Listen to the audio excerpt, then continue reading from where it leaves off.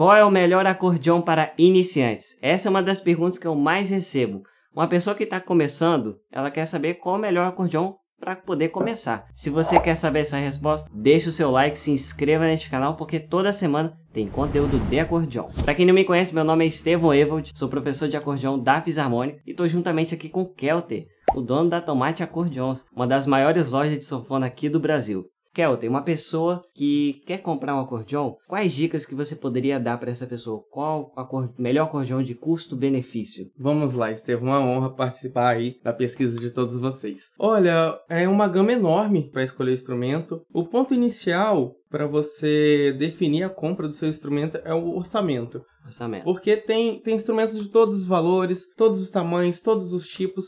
Então, o ponto inicial de tudo é o orçamento. Quanto eu posso investir nesse instrumento que eu quero aprender? E a partir daí você já filtra a sua pesquisa e já define ali o nicho de instrumento que você pode comprar. Sim, porque no mercado de sanfona a gente tem valores aos extremos, né? Sim. 2 sim. mil, 10 mil, 15 mil, 30 mil. Então, assim, tem que primeiramente, ó, eu posso pagar até esse valor. Aí você consegue filtrar quais que você pode comprar. né? Sim, aqui E é... com- Ah, perdão. Porque aqui é super normal, né? Tem cliente que começa com instrumento de 4 mil, 3 mil, como também já teve cliente no primeiro contato, é, começou com instrumento de 15 mil, que é, eu posso investir isso. Então, a partir daquele, daquele valor, a gente filtra tudo, ó, e dá uma luz, né? A gente precisa Sim. de uma direção para dar uma luz. Então, o ponto inicial é o orçamento. E com relação à fabricação, a gente sempre defende que as italianas são as melhores, mas será que eu tenho que começar com uma italiana? Não necessariamente. É, claro, se você puder investir um pouquinho a mais e pegar uma italiana, sensacional, que você vai ter um instrumento de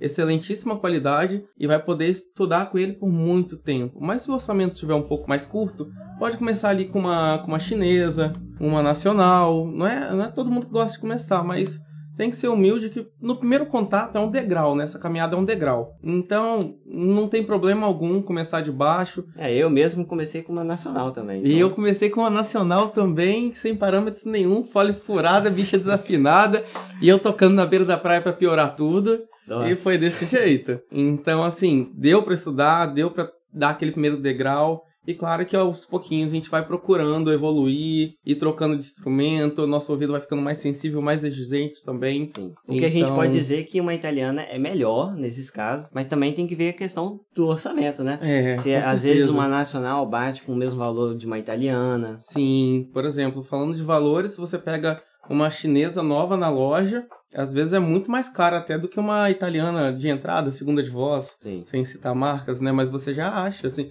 Ou então você pega uma 120 reduzida, vai te atender perfeitamente bem. O negócio é você pesquisar com calma.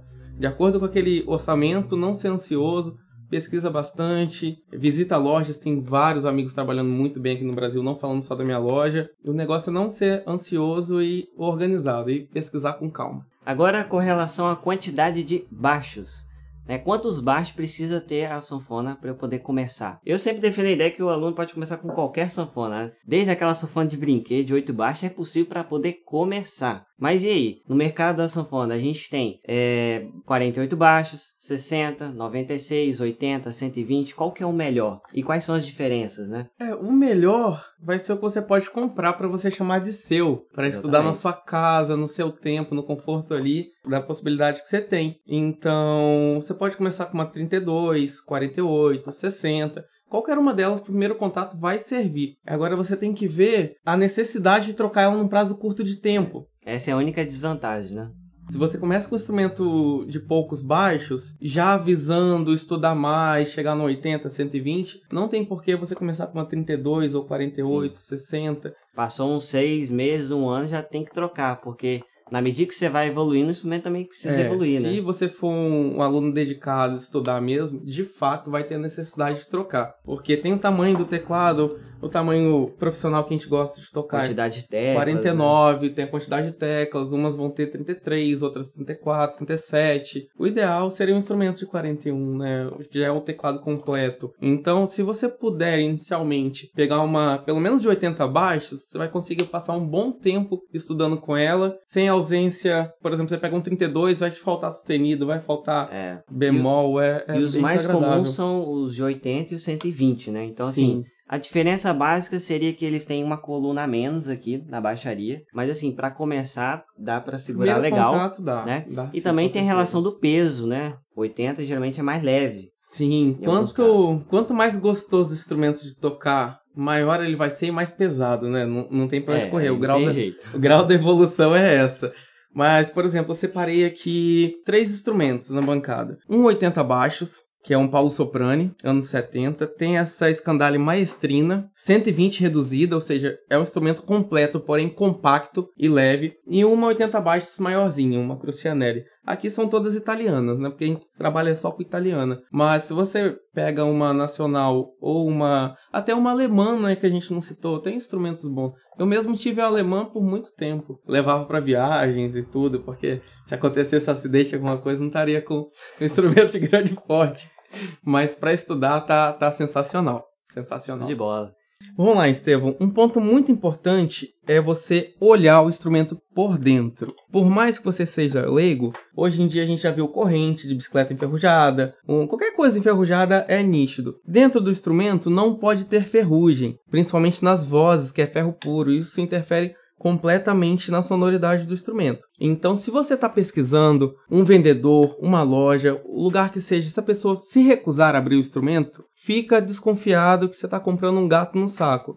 Isso é muito importante. Ó, esse instrumento aqui eu abri ele em menos de um minuto, com maior delicadeza, sem arranhar o celuloide, não tem mistério nenhum. Claro que no início dá medo, né? Mas são só seis pinos que não tem parafuso, não tem nada colado. A única coisa que une o teclado ao fole do instrumento e a parte da baixaria são pininhos na madeira. Só isso. Então é importante você olhar por dentro, ver que o couro, o couro tá todo fechado, por exemplo, não tem aquela beiça de couro aberto, Sim. não tem nota enferrujada. Você olhar o acabamento da cera, ver se não tem muita muita marca de queimado na cera. Ou seja, são notas que quebraram, foram substituídas. É normal um instrumento de época ter nota substituída, duas, três, principalmente os pícolos, que são mais delicados. Às vezes o violino. São as notas mais frágeis do instrumento, principalmente para quem tocava puxando muito forte. É um ponto, não precisa puxar um instrumento com força. Um instrumento de qualidade, ele fala, ele desliza. Hum, E assim você aumenta a durabilidade, evitando de quebrar as notas. Então, o ponto principal é: olhe o instrumento por dentro, veja se não tem ferrugem, notas trocadas, muitas. É um ponto muito importante. Então, não podia deixar isso passar batido.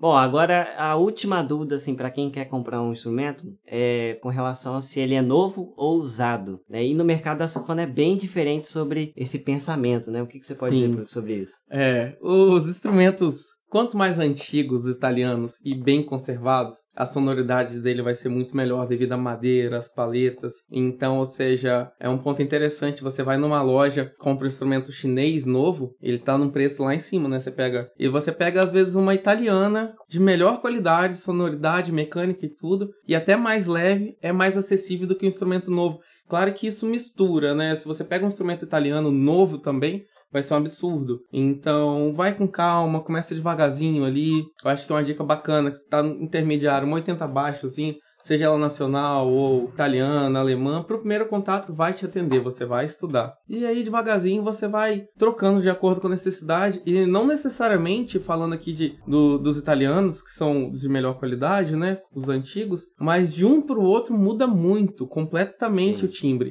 Então não adianta, às vezes, você investir numa marca tal, porque ela tem nome no mercado italiano, essa é a melhor marca, aí depois você estudando, escutando música, outros instrumentos, às vezes você gosta de um timbre, de um, de um instrumento que é até mais barato do que aquele que você pagou pelo nome. É muito interessante isso. Sim. Então é uma caminhada muito longa, tem que ir com calma. Estudando bastante, e se você tiver a possibilidade de ir testando instrumentos de amigos também, que isso ajuda muito. Eu lembro que pro meu primeiro instrumento, esse que eu comprei, que tinha vazamento, tinha tudo, não tinha um lugar, por exemplo, pra testar, né? Pô, isso ajuda muito. Você chega numa loja, testa, todos. Isso é uma grande luz, mas se você não tiver, pesquisa na internet mesmo, troca ideia com, com a gente, os professores aí estão sempre dispostos a ajudar. E a gente te deseja uma boa sorte na procura do instrumento e qualquer dúvida, joga nos comentários lá que a gente vai auxiliando. Então é isso, galera. Gostou do vídeo? Deixa o like, se inscreva neste canal. E se você tem uma outra dúvida pertinente sobre esses assuntos relacionados ao acordeão, comente aqui embaixo, tá bom? E até o próximo vídeo. Boa sorte na procura do seu novo instrumento.